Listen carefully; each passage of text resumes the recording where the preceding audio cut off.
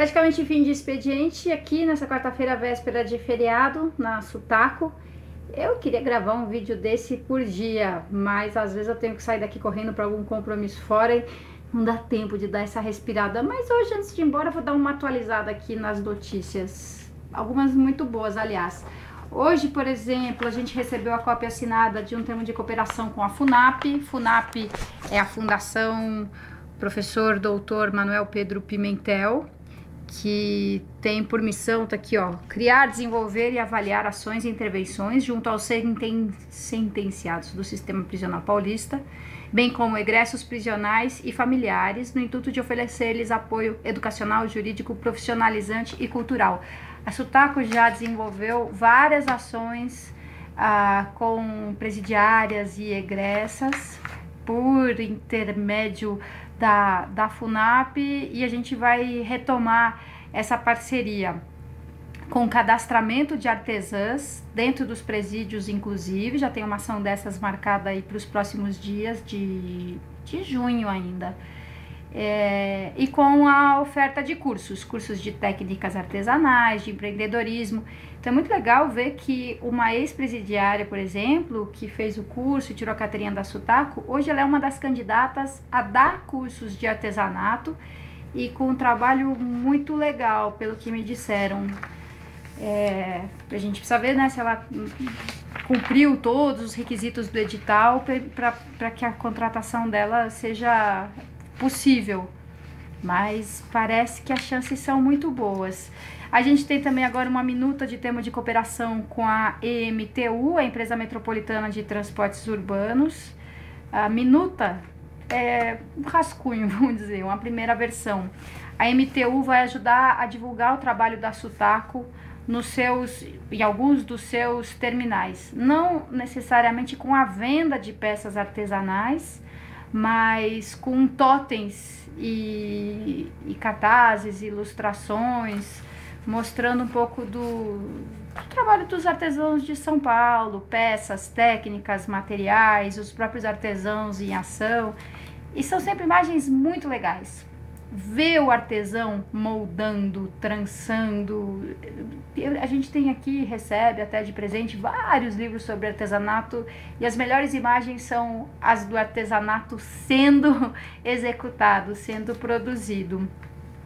A gente essa semana também recebeu uma notificação da Secretaria da Fazenda. A Secretaria da Fazenda é que faz o controle interno do governo do estado de São Paulo.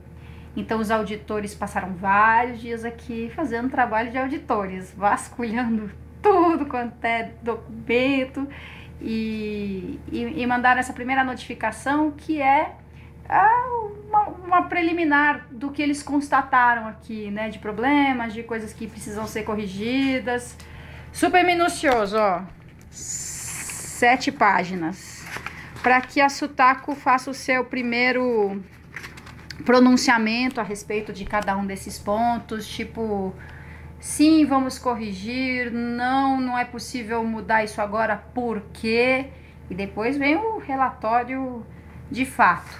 Que mais? Aqui a gente tem uma referência muito legal é, de, um, de um projeto que vai ser desenvolvido agora no Museu do Futebol e que tem tudo a ver com um projeto que a Sutaco quer desenvolver também. O que, que eles estão fazendo lá? O que, que eles estão construindo? Aqui, o Centro de Referência do Futebol Brasileiro. Até a responsável pelo projeto é, apresentou lá no terceiro encontro paulista de museus, no Memorial da América Latina.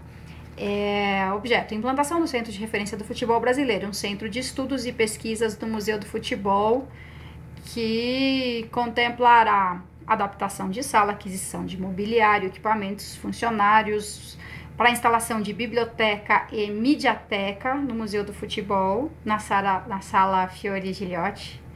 Aquisição e desenvolvimento de software para banco de dados, para gerenciamento de acervos e conteúdos, aquisição de acervo bibliográfico e midiático para a formação da biblioteca, formação de equipe de consultores e pesquisadores para desenvolvimento de pesquisas de campo, de levantamento de referenciais de acervo e indicadores de memória sobre o futebol na cidade de São Paulo. É só tirar o futebol na cidade de São Paulo e dizer o artesanato no estado de São Paulo que é o que a gente quer fazer por aqui também. Precisa fazer uma biblioteca, uma mediateca, é, um acervo bem catalogado, preservado e, e exposto.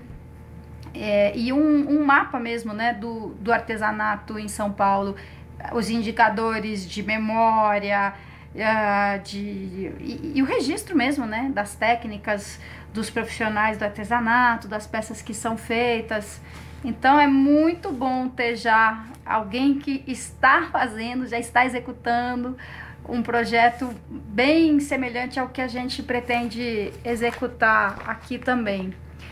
Tem algumas outras coisas também. Deixa eu pensar, pelo menos uma, né, para não falar que tem mais, não dizer nenhuma. Assim, a gente está em fase Uh, já, já estamos assim na terceira ou quarta etapa de elaboração do PPA, o plano plurianual, que se refere aos próximos quatro anos e que serve como orientação, né, diretriz para elaboração da lei de diretrizes orçamentárias e da lei orçamentária de todo ano.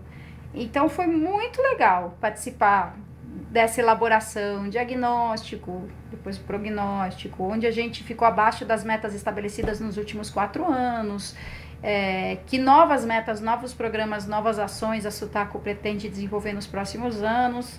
Ah, sim, e hoje a gente teve uma reunião com técnicos da Fundap e da Secretaria de Gestão, que estão fazendo uma análise da estrutura da Sutaco, análise atual, comparada à estrutura inicial da Sutaco, definida em leis e decretos lá da década de 70, porque já está super defasado. Até a auditoria da Fazenda constatou isso com uma facilidade. O regimento interno já não reflete mais a estrutura atual da superintendência. Então, muitas coisas precisam. Algumas mudanças são praticamente só de nomenclatura, mas outras coisas são de redefinição mesmo de funções e atividades. E a reunião foi tão boa, porque esses técnicos, eles têm muita experiência já em, em administração pública, conhecimento profundo assim da administração de um modo geral e nas semanas que eles passaram aqui estudando, entrevistando todos, todos os funcionários da Sutaco longamente, pacientemente, com verdadeiro interesse,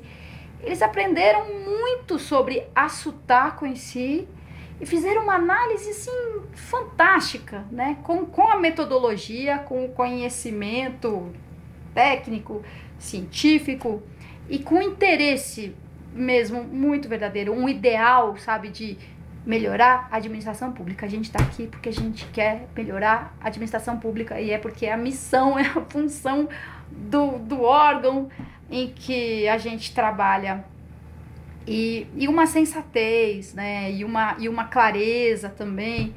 Então, nossa, foi muito animador, muito inspirador. É a metade do processo, né? Depois a gente tem que conseguir levar a cabo essas propostas todas, que incluem inclusive o um aumento dos quadros da Sutaco. E aí a gente vai batalhar por isso na lei orçamentária, né? Na, junto à Secretaria da Fazenda, junto à Casa Civil, mas eles constataram assim, muito facilmente que a Sutaco é, se desdobra para atender os artesãos do estado de São Paulo. E claro que às vezes a gente fica devendo. Todo mundo aqui tem consciência disso e lamenta pelo tamanho da fila para emissão da nota fiscal, pela espera para conseguir marcar é, um cadastramento. Mas, mas as pessoas aqui gostam muito do que fazem, gostam muito de artesanato, gostam muito dos artesãos, assim, tem um verdadeiro amor e pelo serviço que elas prestam. Então, essa é uma experiência em administração pública muito assim, que pena, né? Que não é, não é comum você viver isso. Tanta gente junto, tão, tão feliz com o que faz, tão empenhado é, de coração assim em fazer esse... aliás não é só no setor público no setor privado também. Então essa é uma é uma experiência bem bem distinta assim de outras que eu já tive no, no setor no poder público. Lembro na primeira semana de câmara municipal um assessor meu saiu do elevador e falou assim nossa a conversa no elevador era assim quantos anos faltam para você? Quatro. E você? Dez. Putz para mim 14 faltam para se aposentar naturalmente. Então aqui a história é, é bem diferente. Que bom.